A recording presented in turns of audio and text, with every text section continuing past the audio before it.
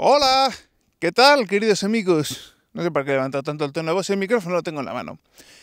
Muy buenas tardes, ¿qué tal, queridos amigos? Soy Discord, bienvenidos a una nueva revisión. En este caso vamos a hacer una revisión un poquito más intensiva del Zoom F1 con el micrófono SG H6, ¿de acuerdo? Un micrófono shotgun, un micrófono hipercardioide, que es bastante interesante, pues por ejemplo, pues para grabar recursos, sonidos, Y ahora mismo me estoy moviendo por un sonido, por un suelo tremendamente ruidoso, que son cantos de piedra.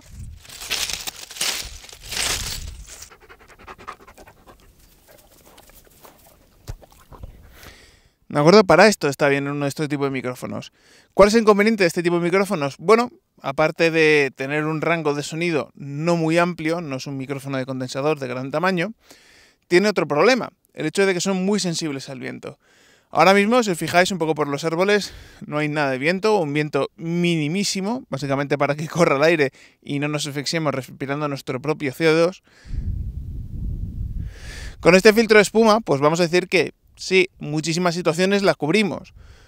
Sistemas de interior, ventilaciones, aire acondicionado, la corriente del viento no va a entrar, porque imaginaros lo que pasa cuando quitamos ni siquiera este mínimo filtro de espuma.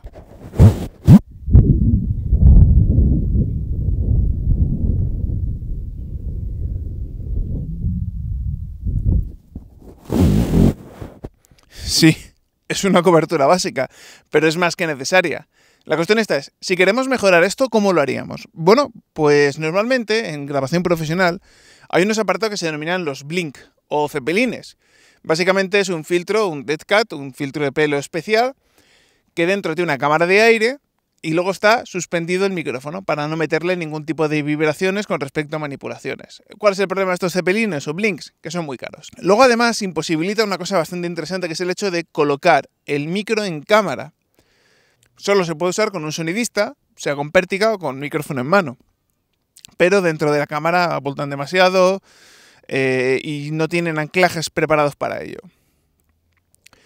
Si tenemos un micrófono como este, o un NTG2, o un micrófono ya un poco más mejor que muchos micrófonos de Rode, podemos optar por un filtro de espuma de baja densidad con un dead cat integrado como este.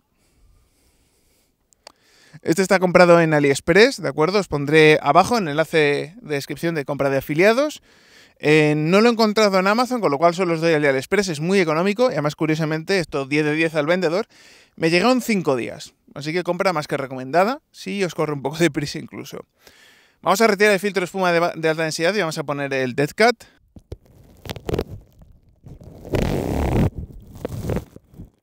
Bien, ya tenemos colocado el DeadCat, como veis su colocación es bastante simple. Como digo, su conexión es bastante universal. Para muchísimos micrófonos NTG2, NTG4, algunos de Sennheiser es 100% compatible, ya que la medida de grosor es bastante estándar. Micrófonos más hipercardioides de Sennheiser o de Rode, evidentemente por su tamaño no entraría este modelo, pero hay otros fabricantes que tienen bastante variedad de modelos. Aunque este, voy a reconocerlo, relación calidad-precio, creo que es el más universal de todos, así que compra recomendada. Como veis ahora mismo, lo que es el ruido del viento es nulo. Y sus prestaciones de cardioide y de poder recoger sonido de follow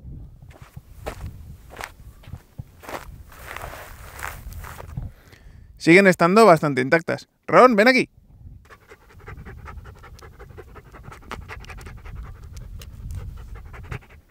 Ron quiere mimos. Bueno, pues Mira, ahora ha subido un poco el viento.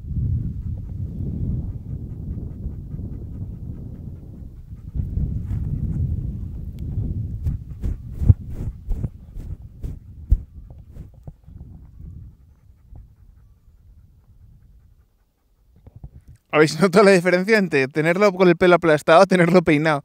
Tener el pelo siempre peinado hacia arriba